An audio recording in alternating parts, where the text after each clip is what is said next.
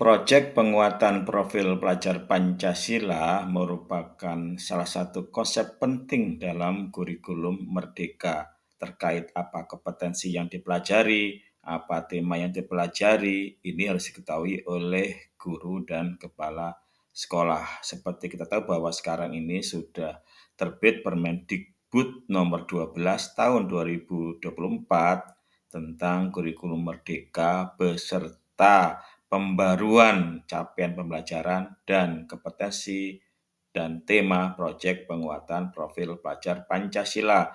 Maka ini harus diketahui oleh guru dan kepala sekolah. Untuk itu silakan disaksikan video saya berikut ini.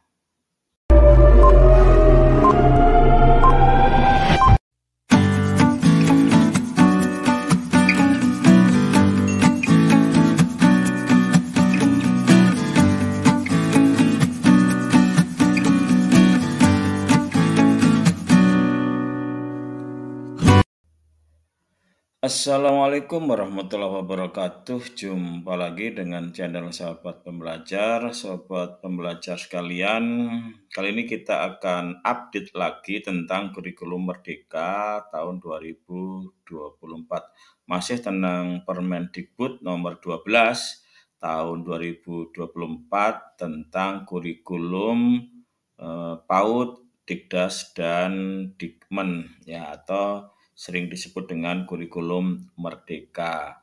Di beberapa video saya terdahulu saya sudah bahas tentang capaian pembelajaran yang merupakan kompetensi dari intrakurikuler. Nah, sekarang kita bahas untuk yang kurikulernya karena keduanya adalah salah satu komponen dari struktur kurikulum.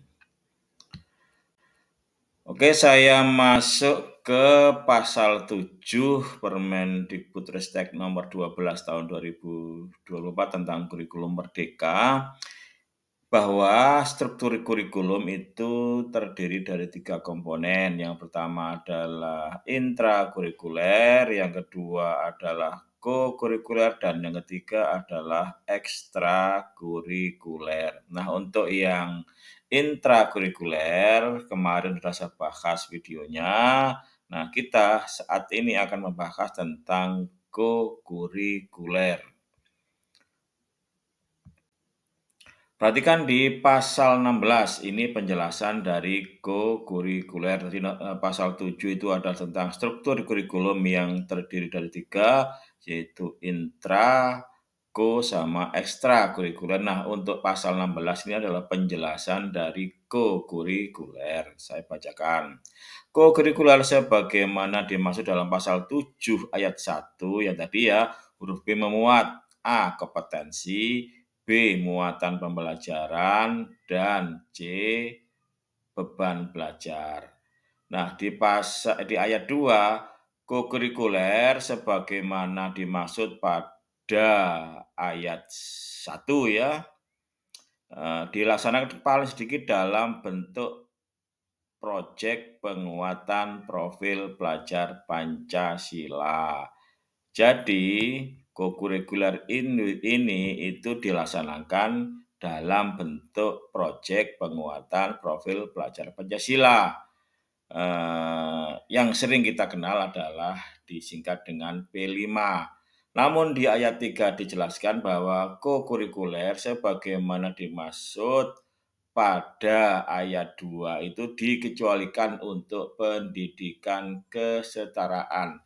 Jadi untuk pendidikan kesetaraan itu tidak perlu ada P5. Oke, kita lanjut di pasal berikutnya.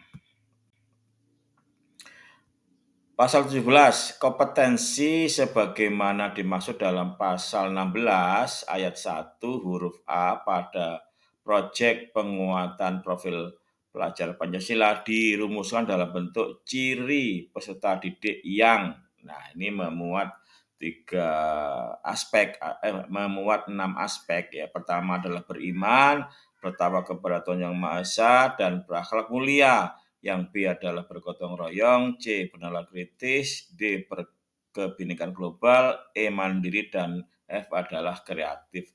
Ini sering saya sebut atau saya singkat dengan makan roti manis ya. Ma itu dari kata beriman, kan dari kata berkebinekaan global, ro dari kata gotong royong, ti dari kata uh, bernalar kritis ya Ma dari mandiri, nis dari kata kreatif. Nah, ini saya singkat biar gampang diingat. Nah, kemudian kompetensi sebagaimana dimaksud pada uh, ayat 1 ditetapkan oleh pejabat pimpinan tinggi madya ya yang melaksanakan di bidang kurikulum. Nah, jadi eh, kompetensi itu ditetapkan oleh siapa? Oleh pejabat pimpinan tinggi yang membidangi tentang kurikulum.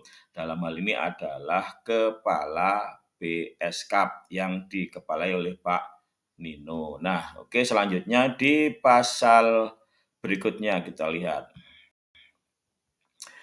Pasal 18, muatan pembelajaran dimaksud dalam pasal 16 ayat 1 huruf B pada proyek penguatan profil pelajar Pancasila memuat tema proyek penguatan profil pelajar Pancasila. Nah, sekarang di ayat 2 tema proyek penguatan profil pelajar Pancasila eh, sebagaimana dimaksud ayat 1 menjadi rujukan bagi satuan pendidikan dan seterusnya. Nah, nomor tiga, tema proyek penguatan profil pelajar Pancasila sebagaimana dimaksud pada ayat 1 ditetapkan oleh pejabat pimpinan tinggi media yang membidangi tentang kurikulum. Ya, lagi-lagi yang menetapkan tema itu adalah Kepala BSK.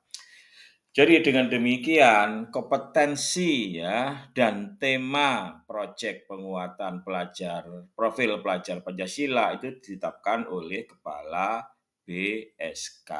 Nah, sekarang kita lihat maka untuk itu terbitlah sekarang keputusan Kepala Badan Standar Kurikulum dan Asesmen Pendidikan yang sering disingkat dengan BSK ya Kementerian Pendidikan Kebudayaan Riset dan Teknologi menetapkan ya kompetensi dan tema proyek penguatan profil pelajar Pancasila. Nomor eh, eh, SK-nya adalah nomor 031 garis miring H garis miring KR garis miring 2024. Dengan demikian sekarang sudah ada kompetensi dan tema proyek penguatan profil pelajar Pancasila yang baru yang kemarin sebelum ini itu ditetapkan berdasarkan peraturan eh, keputusan kepala BSK eh, tahun 2022 yang terakhir. Nah, sekarang ada yang lagi yang terakhir yang terbaru ya. Nomornya adalah 031 garis miring garis miring garis miring 2000 2024. Nanti silakan dipelajari ya, apakah ada perubahan, perubahannya apakah signifikan, ya tentu ada perubahan ya karena uh, ada keputusan yang baru, maka silakan dipelajari. Jadi yang lama dibandingkan dengan yang baru. Demikian mudah-mudahan bermanfaat saya akhiri. Wassalamualaikum warahmatullahi wabarakatuh.